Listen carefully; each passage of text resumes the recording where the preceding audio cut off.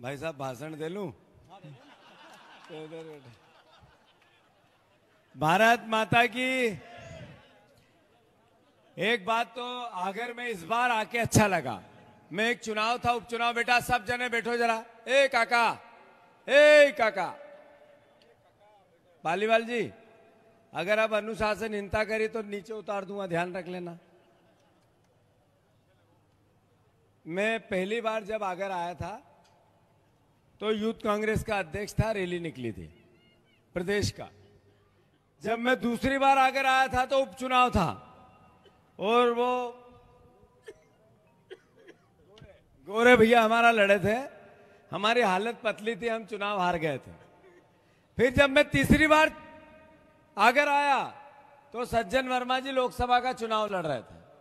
जब मैं चौथी बार आगर आया तो विपिन वानखेड़े विधानसभा का चुनाव लड़ थे।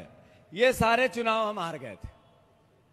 पर फिर मैं आगर आया तो विपिन वानखेड़े चुनाव जीता हुआ था और आप सबकी कृपा से था। आप सबको साधुवाद, धन्यवाद। और आपका मैं ऋणी हूँ। एक खुलासा। बाबू भैया, मैं सच कह रहा हूँ, ये मेरी अंतरात्मा की बात है। मैंने आज से ये चुनाव जीता, उसके छह महीने बाद इसको घर बुलाया। विपिन को। और मैंने कहा, तू ऐसा कर, सावेर हम उपचुनाव हार गए हैं। ये सीट 100 प्रतिशत हम जीत सकते हैं अगर अपने पास कैंडिडेट अच्छा हो तो। तेरे घर, इसका घर भी उसी विधानसभा में पड़ता है। तो अगर तेरा मन हो तो मैं पूरे खर्चे की व्यवस्था तेरी यहाँ करा दूँगा, तू यहाँ तैयारी चालू कर। तो आपकी तालियाँ मिलनी चाहिए। इसने कहा कि, कि भैया मैं मरूँगा तो आगर में और जीऊँगा तो आगर में कुछ हो जाए छोड़ू ही नहीं अब यहाँ पैसे कम लगेंगे कहीं से इकट्ठे करेगा फिर खर्चा करेगा थोड़े कम देगा थोड़े ज़्यादा देगा तकलीफ़ पाएगा। वह पूरे मिल रहे थे। पर आपका प्रेम उस आफत को उस विपत को उस तकलीफ़ को सहने पे इसने कोई गुरेज नहीं की ये एक बार नहीं की मैंने बात इससे तीन चार बार अलग अलग तरीके से की। तो मैं मानता हूँ इतना समर्पण एक विधायक का, एक जनप्रतिनिधि का अपने क्षेत्र के प्रति होना, ये बताता है कि ये लंबी रेस का घोड़ा है। ज़्यादा कई बार जीतेगा, लगातार जीतेगा, कई लोग आएँगे, कई जाएँगे, पर ये स्थायी आपकी सेवा करेगा। ये मैं आप सबको इस भावना से कि मेरी ज़िंदगी के 25 साल की राजनीति का जो छोटा मोटा अनुभव है, उस भावना को मैं बताना चाहता हूँ कि इसने जिस तरीके से आगर के प्रति प्रेम बताया था वो अद्भुत अकल्पनीय और मतलब एक पराकाष्ठा का प्रेम था। मैं अनुरोध करना चाहता हूँ कि ये जन आक्रोश यात्रा, अभी एक जन आशीर्वाद यात्रा निकली, आगर में नहीं निकली?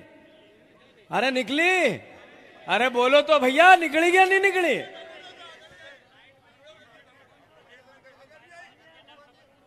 अलेंगनीय अगल बगल से निकल गई। तो अब बीजेपी भी अलग नहीं आओगी अगल बगल से निकल जाएगी। पर जन आशीर्वाद, किस बात का? इस बात का कि उज्जैन में 12 साल की लड़की के साथ, बच्ची के साथ रेप हो गया। उससे पहले इंदौर में छह महीने, छह, आठ, छह महीने की बच्ची के साथ एक बार रेप हो गया था। इसलिए कि यहाँ रोज दस बच्चियों के साथ रेप होता है। यहाँ इसलिए कि दो लाख बहनें मध्य प्रदेश से पिछले तीन साल में गायब हो गई। किस लिए जन आशीर्वाद मिले? इसलिए कि चार लाख करोड़ के कर्जे में है मध्य प्रदेश। इसलिए कि आप सब पे तिरपन तिरपन हज़ार का कर्जा है। इसलिए कि मध्य प्रदेश के मुख्यमंत्री हर एक महीने में तीन हज़ार करोड़ रुपए का कर्जा लेते हैं। और उस कर्जा लेने का करते क्या है? बड़े बड़े पांडाल सजाते हैं। लाडली बहना का आयोजन और प्रयोजन करते हैं। लाडली बहना का टीवी पे विज्ञापन देते हैं, अखबार में देते हैं। एक बड़ा सा मंच, उस पे ऐसा रैंप, उस पे ऐसा माइक, उस पे ऐसी टीवी, और फिर, बहनों, घबराना मत। तुम्हारा भाई, मामा अभी ज़िंदा है। दस तारीख के दिन, एक क्लिक से सबके खाते में हज़ार हज़ार रुपए जाएँगे। और दूसरे दिन बिजली का बिल तीन हज़ार का आएगा। बहनों, राखी तुम्हारी सूखी नहीं बनने दूँगा। ढाई सौ रुपए डालूँगा। ढाई सौ रुपए में आगर में कहा की जगह मिठाई, आओ बताओ तो एक किलो की। अब आज की रे आज जब अपन यहाँ बैठा है। बहनों, इस बार से साढ़े बारह सौ, फिर मैं साढ़े पंद्रह सौ करूँगा, फिर मैं साढ़े सत्रह सौ करूँगा। फिर दो हज़ार। ऐसे मैं तीन हज़ार तक जाऊँगा। अरे भैया, अगला दो महीना में तो तू रही नहीं तो फिर सत्रह सौ कैसे जाओगे? सही है, गलत है? बात यह है कि एक मुख्यमंत्री ने कैसा प्रदेश बनाया? ऐसा जिसमें मंडियाँ बंद है, पटवारी हड़ताल पे है, सोयाबीन का मुआवजा नहीं, और विधायकों की मंडी लगी है। विधायकों की मंडी। विधायकों की मंडी में कितना कितना करोड़ रुपया में बिका विधायक? अरे बोलो नहीं भैया, कितना कितना में क्या? अच्छा यो बताओ, एक लाख में कितनी दो दो पचास पचास हज़ार की गड्डी रही? दो रही। तो फिर एक करोड़ में कितनी रही? फिर दो करोड़ में कितनी रही? फिर तीन करोड़ में कितनी रही? फिर पाँच करोड़ में कितनी रही? अरे पाँच पाँच सौ की कितनी गड्डी दस करोड़ में रही?